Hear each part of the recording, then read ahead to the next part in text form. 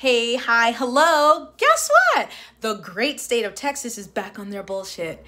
What is this behind me? A 16 page document containing books that are under investigation because they may cause discomfort to students.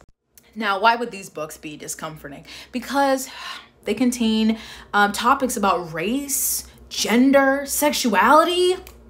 I know. Why would we have these in schools? They're literally going through public school classrooms and libraries, um, looking at these books that talk about really anything outside of the straight white uh, cisgender narrative. Because why would students need to read about those things? Some books on this list include Cemetery Boys, Cinderella is Dead, The New Jim Crow, Hood Feminism.